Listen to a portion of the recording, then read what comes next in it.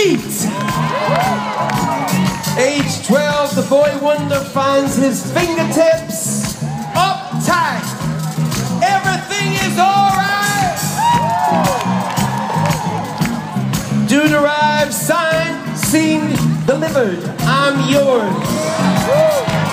At high school, at high school, he writes Tears of a Clown.